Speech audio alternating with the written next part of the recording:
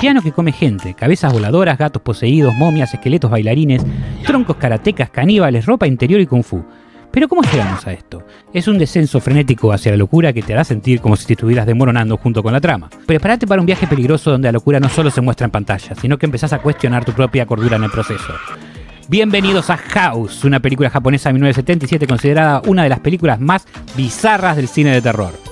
¿No me crees que estoy exagerando? Bueno, quédate y después me contás a ver si es así o no. Y vamos ¡Romperles el culo! Vacaciones de verano. Oyare está emocionada por irse a una finca con su papá, que llega de Italia hoy. Entra a su casa y encuentra a su padre jugando al golf en el balcón, como es normal, y él inmediatamente le presenta a su hija su nueva pareja, quien ahora los estaría acompañando en el viaje cambiando los planes de la muchacha. Oyare, en una demostración clásica de no me banco a la nueva, sale corriendo y hasta el pañuelo que le dio la madrastra se revela y se queda atrás. Se encierra en su cuarto, intenta hacer una transformación estilo Mujer Maravilla, pero las cosas salen terriblemente mal. Días después contempla un álbum de fotos de su padre, recuerdos. En esta parece que se está cagando y encima le hacen suma la cara, que hijos de puta. Y de la nada, todo el cariño que tenía por su padre se convierte en un maratón de tachaduras de cara.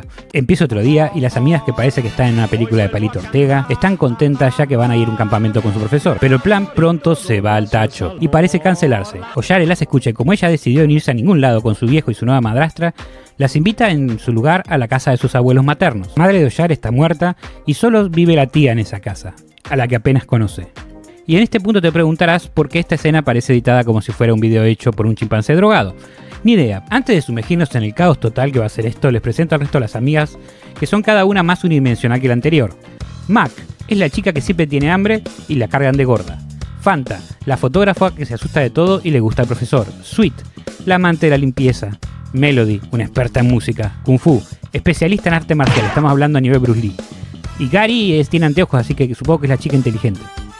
Ahora un pequeño paréntesis cultural. Según los estándares de esta película, Mac es la gorda del grupo, entre comillas. Y cada vez que aparece se espera que hable de comida, tenga comida en la mano o que sus amigas le recuerden que es gorda.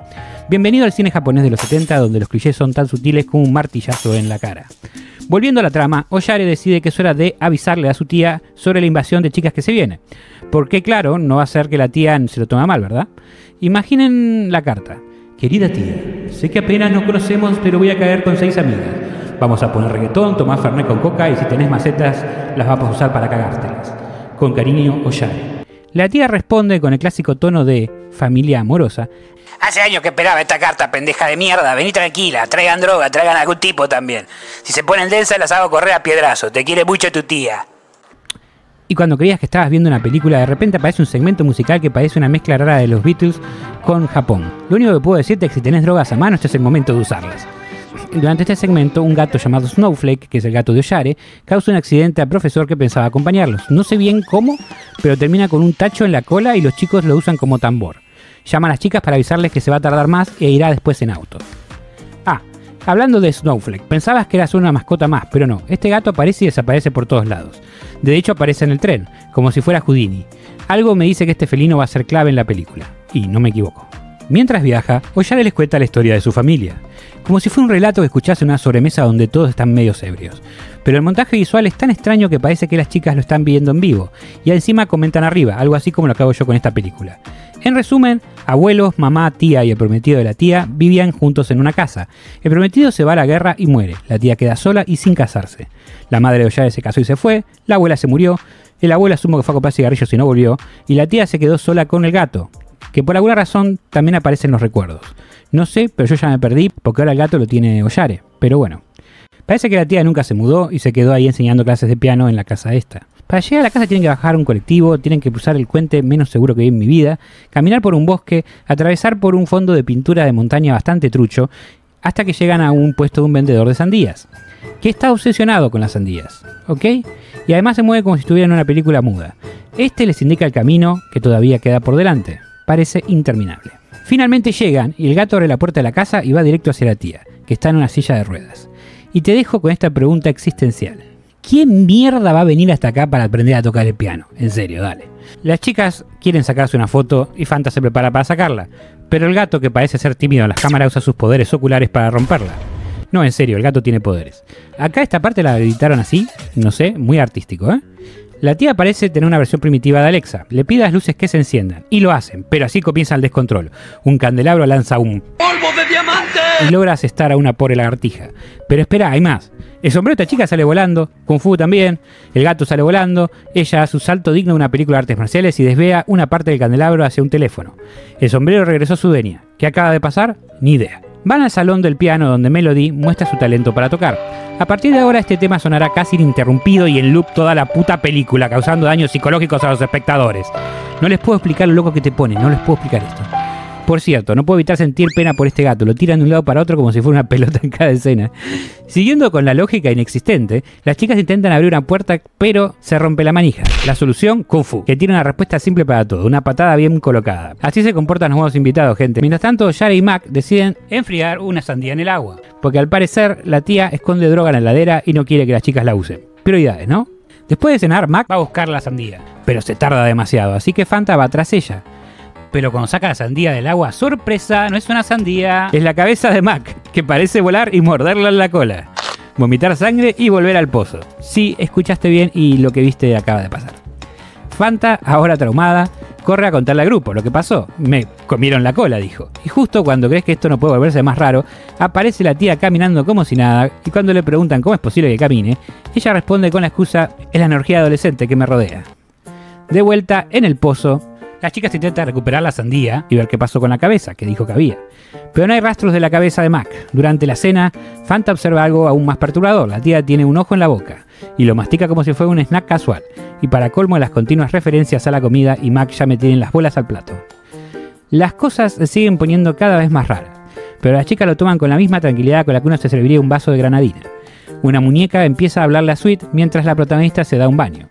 Y si pensabas que eso era extraño, un mechón de pelo comienza a toquetearla. Y mientras lo hace, todo se vuelve más bizarro.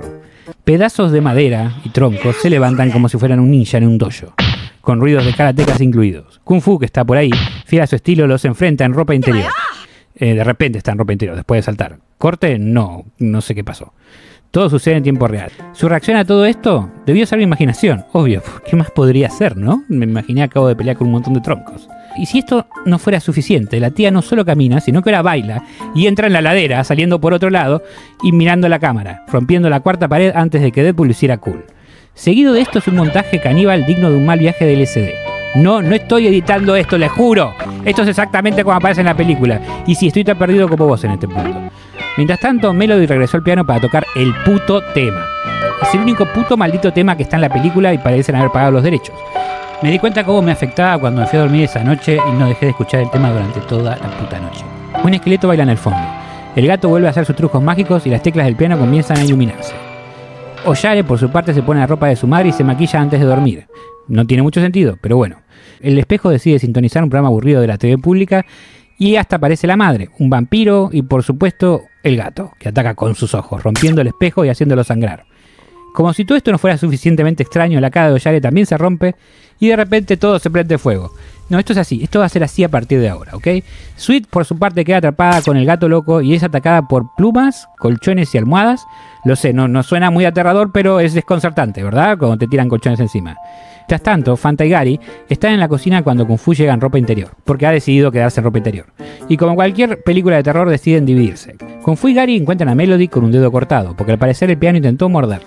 Fanta logra entrar en la habitación donde estaba atrapada Sweet, pero parece que llegó demasiado tarde. Sweet desapareció, dejando solo su ropa y una muñeca desnuda.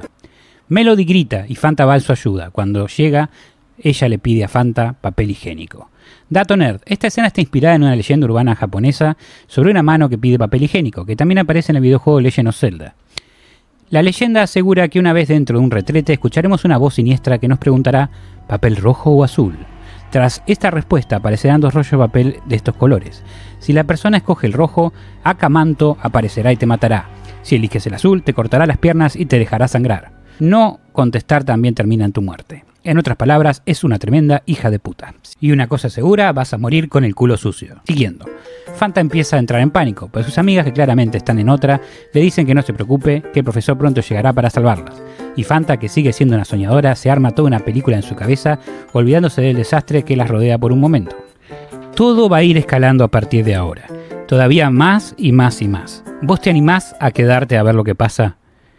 No, te lo estoy preguntando en serio. Tenemos que ser responsables de nuestras decisiones. Después no me vengan a pedirme nada a mí, ¿eh? Yo me lavo las manos después de esto. Interrumpimos esta review por un anuncio de enorme importancia. La mayoría que ve nuestros videos no está suscrito al canal, no deja comentarios ni like y según las métricas de YouTube se hacen pis en la cama todavía. A YouTube no le gusta el contenido que hacemos y no nos estaría ayudando mucho para crecer, sino todo lo contrario. Por eso necesitamos tu colaboración para poder seguir creciendo y mejorando en lo que hacemos. Así que si te gusta el canal chiquito, el grandote te va a encantar. Gracias. Las chicas van al cuarto de Ollare y la encuentran en un estado raro. De repente la película baja unos 2 FPS, lo cual me está volviendo loco y me hizo verificar que no era mi PC pero al final no lo era, decide con una sorprendente alegría llamar a la policía. Ollare se ofrece a hacerlo, se levanta el teléfono pero solo escucha pedidos de auxilio. ¡Momento! ¿Seguro que así funciona la cosa? Con el teléfono actuando raro, Ollare decide ir personalmente a la estación de policía, que claramente está en un lugar lejano, porque si el camino hasta acá es indicativo, podría tardar dos días. Antes de irse le dice a las amigas que no salgan de la casa hasta que ella regrese. Y apenas cierra la puerta, la momia aparece y todo se va al carajo. Al menos la velocidad de la película vuelve a la normalidad. Las puertas y las ventanas se cierran herméticamente dejando a las chicas atrapadas. Acaba un comentario metanarrativo para mantener la cordura. Una chica menciona que esto es como una película de terror y otra le responde, una muy vieja será. Y sí, tiene razón, la película es como un rompecabezas raro de terror y comedia. Hay cosas raras, gente que se está comiendo, pero el tono no es exactamente de terror, es algo raro. Las chicas intentan escapar usando la fuerza de Kung Fu, pero esto no funciona. Racionalizan que la tía debió haber cerrado todo. Deciden preguntarle a la tía cómo abrir la puerta, pero no la encuentran. En lugar de eso encuentran una mano humana que parece de ser de Mac. Asustadas le piden a Melody que toque algo para levantar el ánimo. Y ella decide tocar la maldita puta canción de siempre. Me estoy preguntando si me pego uno o dos tiros, ¿viste el segundo por las dudas? Parece que escuchan la voz de Ollare y dos de las chicas van a buscarla. Fanta se queda con Melody, quien parece estar en trance mientras toca el piano. El piano en un giro macabro empieza a comerle los dedos. Melody sonríe hasta que le come la mano y ahí sí grita. Y el piano termina de devorarla por completo en una escena digna de un asilo mental. Y sí, esto está pasando y ella se está riendo, creo, es todo muy raro. Les dejo acá lo que puedo mostrar antes que YouTube me saque el video por copyright. Y acá es cuando mi cordura empieza a desmoronarse por completo. No estoy seguro de lo que estoy viendo, no estoy seguro si es real. Por favor, déjenme en los comentarios que ustedes están viendo lo mismo que yo. ¿Qué mierda está pasando? ¿Qué es esta escena, Dios mío? Las otras dos chicas se encuentran a Ollare, que está vestida para la una boda, y pasa por la puerta sin decir nada, dejando atrás un libro con gatos en la tapa. Ollare se mete en el armario y desaparece. Kung Fu entra y encuentra a Sweet dentro de un reloj y le pide disculpas. Y supongo que la hora le pide, ¿no? El reloj empieza a sangrar y las chicas corren. Encuentran a Fanta desmayada. Y lo que queda de Melody, las partes. Incluso después de muerta, Melody sigue tocando el maldito tema porque su dedo se sigue moviendo, claro está. Finalmente las chicas llegan a la conclusión de que la casa es un fantasma hambriento y que Ollare también se ha convertido en uno. Luego algo pasa fuera de la casa y no tengo idea de qué es eso. Se entiende que es el profesor intentando llegar a la casa y esa cosa de ahí, esa cosa ahí desafía la lógica. Mientras Kung Fu y Fanta hacen una barricada en la escalera, y honestamente no entiendo por qué, ya que la casa está embrujada, no la escalera ni lo que está arriba, Gali empieza a leer el libro que encontró en la habitación de Ollare.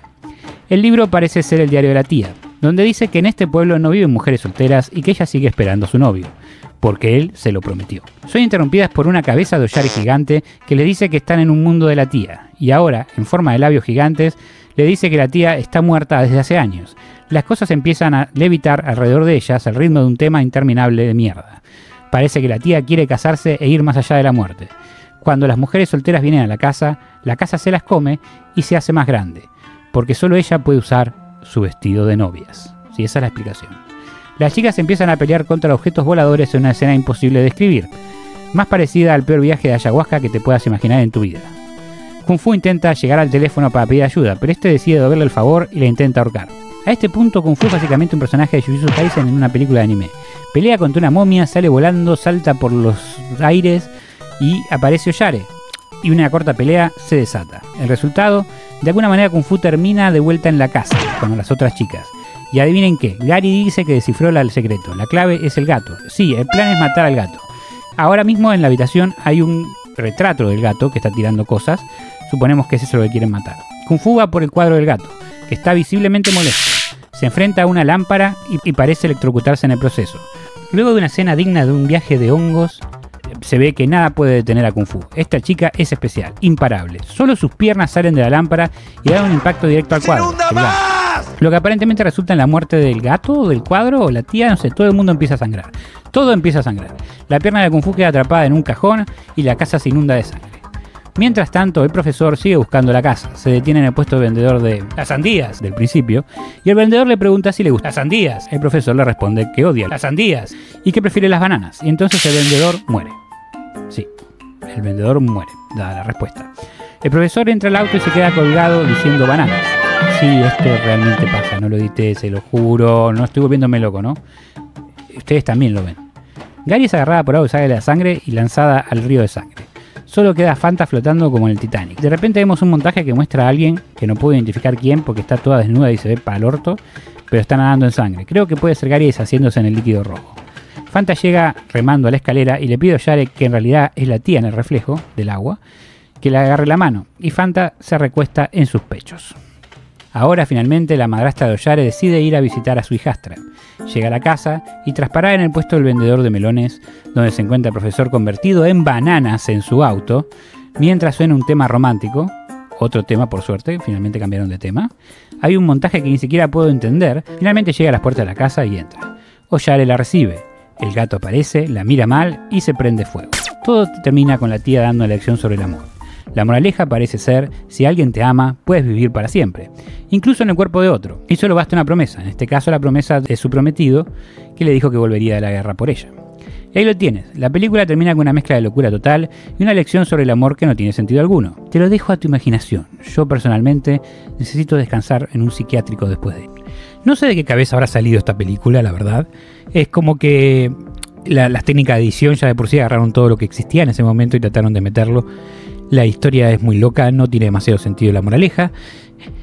Pero de alguna manera es atrapante, no es de terror, es como una comedia de terror, es como Evil Dead antes de Evil Dead. Es como, no sé, es raro, es algo que te, te hace mal y bien, y hay momias y esqueletos y... Ay Dios, japoneses, qué raros que son. No sé qué pensar de esta película. Eh, sí, voy a tener que, tener un par de sesiones de terapia por lo menos para sacarme esa música del orto de la cabeza, Dios mío, es un virus, es un virus esa música. Nos vemos la próxima.